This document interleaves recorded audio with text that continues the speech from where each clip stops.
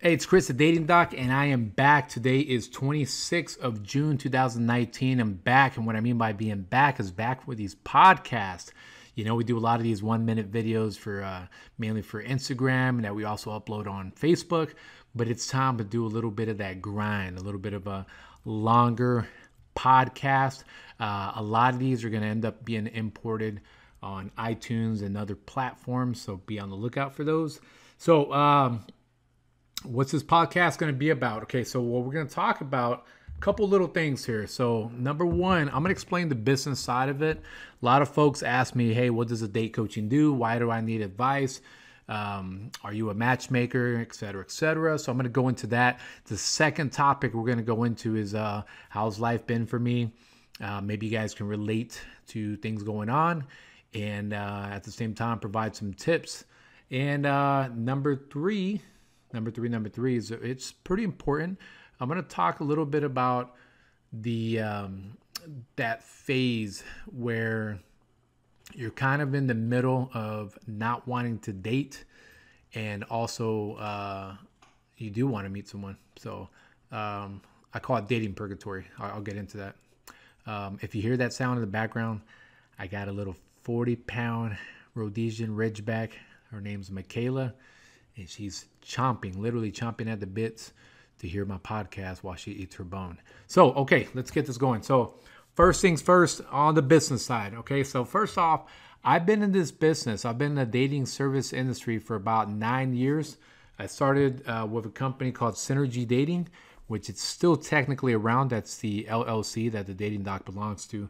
So um, I'm walking Miami Beach and back in 2010 and i noticed that people were starting to get hooked on their phones. This was around that time when you just started seeing the change from people still chatting it up during happy hour and out at the club because i was young back then younger.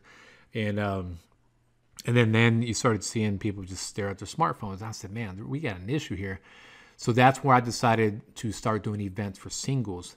And my first event was uh, november 4th 2010, correct? Yeah, 2010. And uh, it was held at a place called Coco's in San Antonio. A now defunct place. I played salsa music at night. Um, and the proceeds went back to the Leukemia Lymphoma Society. And at the same time, a lot of singles ended up meeting. Some of those folks I'm still keeping contact with from my first event. I distinctly remember spilling a drink uh, during my first event. That's how nervous I was. Uh, fast forward six months after that, we started doing matchmaking, and uh, then we transitioned over about two years ago to do date coaching. Why? Because I'll tell you what, matchmaking is not easy. Okay, some people got the worst expectation management. You got folks that are uneducated, don't even lift a finger to work out or to eat right and here they are looking for you know the equivalent to a Channing Tatum or Beyonce or you know pick pick pick a celebrity reference that that is considered attractive you know. So um and educated. So now I've been doing date coaching and I I really do enjoy it. Um, I meet clients normally like at a at a Starbucks. I've met people uh, while I'm walking the mall. I'll walk with them provide advice doing a two for one you know taking a uh, taking a walk and at the same time getting some good advice. Now, for me, it's not just a lot of what you see on on on Instagram, Facebook, and other social media, YouTube. You see a lot of conceptual advice. You see a lot of motivational stuff, and um, my clients get all the juicy things. You know, the technical advice, the flow chart on how to start a conversation. You know, instead of the hi or hello on an app, you reference their profile and you go from there you know, you it's a competition out there. Okay, if you're on apps, this illusion that you're the only person they're talking to, it's more likely um, that's a fallacy. So there, there's a lot of uh, competition, and you have to be able to know exactly how to communicate to go from dating, online dating or digital dating or meeting at the bar to that first date to steady dating and then long-term relationship or if not just you know something fun and short term and enjoy the dating world. Um, so that's that. how do I make money off of this? Okay, so we have ebooks, we have t-shirts, and I meet clients one-on-one. I meet them through webcam if they're if they're not um, local. Webcam meaning Skype, Zoom, FaceTime, etc., etc., Facebook. So um, that's my pitch. Okay, I'll start off with that first in case people are always wondering, man, what do you do? What's this whole date coaching thing? Now, the only last thing I'll leave you with is what makes me different is that since I held events, since I did matchmaking, and since I also have a huge business and military background, I see things a lot differently than um, I guess you can call competitors or others in my in my space uh, of dating coach services. Um, you know, I, I in- integrate things such as Six Sigma, uh, which, if you're not familiar with that, it's a process improvement theory. So you, you know, you, you reduce waste. You know, if you know that your same process is attracting the wrong kind of person, and you know that you go through this like mental process of saying, I am attracted to, for example, biceps or backside or the wrong kind of, you know, the bad boy or the bad girl um, seeing those yellow flags, seeing those red flags really help. So, um, but to be able to to put that in a game plan, and a lot of my clients listening, they know what I'm talking about. I'll draw up a game plan. So, all right, ADD might have kicked in, so let's switch it up. Okay, so uh, topic two: How's life been for me? Okay, so uh, I'm also in the military, and uh, things have been a little bit busy. I, have been in uh, Canada. Um, last month, I was actually in Canada supporting the largest Canadian military exercise. So uh, that was a lot of fun to check out Edmonton, uh, specifically Wainwright. I was two hours due, let me see, two hours west of Edmonton. Um, and then um, here in San Antonio, wear the uniform during the day, change out. My life consists of working on business, working on an online army module that I'm working on, and eating some almond chocolate ice cream. So holla if you like some almond chocolate ice cream. Uh, dating world, dating world's been interesting. I uh, had something going for a little bit, reacquainted with someone that I met through online dating. Things did not work out. I'm spilling my business, right? Uh, but you know, I've also been going to uh, to church a lot, and uh, this is not to dissuade any listeners who are spiritual, agnostic, uh, atheist. Um, I do enjoy the message. I do enjoy the absorption of energy that I get from fellowship, and uh, and you know, the Bible is an advice book, just like texts from Buddhism and uh, the Quran. If interpreted well, any of those documents, any of those historical and religious scriptures, it's a great self-help book, and that's the way that I, I see uh, me getting back to uh, to my Christian roots is because it, it, does center me, and I have to understand how I can also give back, and uh, how I can follow my passion, which again is helping people. So um, I serve, and I serve while serving, be a military and business.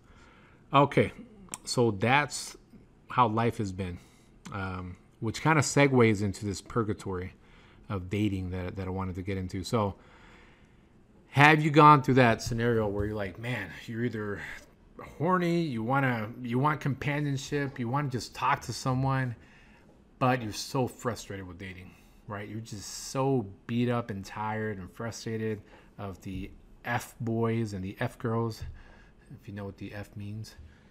I guess it could mean failing, right? Um, let me tell you right now, first off, is I empathize with you. I understand how stressful and how disappointing that is when day in, day out, you try to make it work, you try to have hope. It doesn't work out. You go on a date, you go on a couple dates, you find out the person is not really into you or even into dating at all. And then you end up pulling back for that next person who was ready.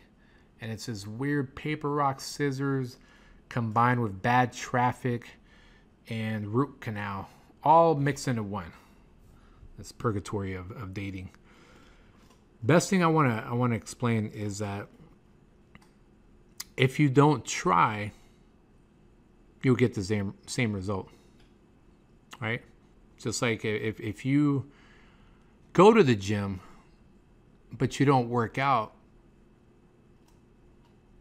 you actually didn't do anything compared to the person who's doing push ups in their living room. Okay, I, I want to repeat that again. Just because you show up to the gym, but you don't work out, you didn't really show up. Same thing with dating, right? You might be on the apps, but you're repeatedly just swiping or messaging or looking through pictures. You're not really showing up. And I think that's what's happening is that our hope and our enthusiasm for dating is greater than the actions behind it. Because there's a lot of hesitancy, because we know that, oh man, um, dating sucks. Well, we know it does. But the reason it sucks, as you say, is it takes people for it to change, right? It is the dating recession, dating purgatory. Yet we have so many ways of meeting someone. And if you show up, not only can you make that person's day, but they're going to want to see you. Right? So if you're going to this dating purgatory, you either go two ways, right? Whether you believe in purgatory or not. But purgatory basically means that you have um, you're kind of at a standby for going to heaven or hell, you want to use the analogy of religion. So either you don't fix yourself and you complain about dating and you stay in hell, or you go to hell. right? What I mean by that is you have resentment. You um, are no longer attracted to the notion of meeting someone, or you go to heaven you're resilient, you're positive, you ex- inspire hope out of people when they show up on a date. Because again, and I've said this before, they have taken time out of the day to talk to you, to go see you, to make to have a phone call with you. It takes energy to be witty, to be flirty. And they're devoting a lot of that time and energy, and so are you. And we don't value that as much. Right? we don't value that as much. We have we're we're building this dating generation, and I'm gonna say it right now, especially the millennials that are just chasing that high of instant gratification and validation, and then off to the next person because of the electronics, because of the devices. So that's purgatory. That is still neutral. That's the middle road. You're not doing much. Start showing up. And guess what? Hey, you can still be a little she devil and be in heaven when it comes to dating, or you know, the little bad boy who's also loyal and looking for long term. I truly believe that. So um, these are more words of inspiration, but at the same time, it's a wake up call in logic. It's pure logic if you think of it. All right. I use the gym analogy. If you show up but you don't work out, you really didn't do much. Same thing turn on the stove, but it's not heating, did you really turn on the stove, right? Same thing with dating. Hey, I'm out there, I'm searching. Are you really? Don't complain if on your profile you say, not looking for a hookup, just kind of seeing what's out there. When you're kind of seeing what's out there, you're kind of going to get a maybe get a result back. Most of the time, it's going to be half-assed or not as good of a of a result. So um, ponder on that. If you're listening to this, think about your own life, do a reflection, and even if you're in a relationship, think about how can I empower my partner and myself. How can I serve the dating world instead of just wanting to get from it? So, um, yeah, I'm, I'm going to tie it up with that. And uh, I want you to think about that a little bit, reflect on that. If you're interested, um, I have a new t shirt design and I want to be able to circulate it with five people. If you're one of those five people, you get the t shirt for free. All you have to do is tell me if you like the idea and uh, or any edits you want to make to it. So respond. If you're on YouTube, if you're on Instagram, if you're on Facebook watching this, uh, you can be one of those five. Give me feedback. Make this an awesome shirt and that people would want to get that inspire change in the dating world. So, Chris, the dating doc here. I am signing off. Thank you for your time. Thank you for your support. And keep supporting a strong, synergistic dating world.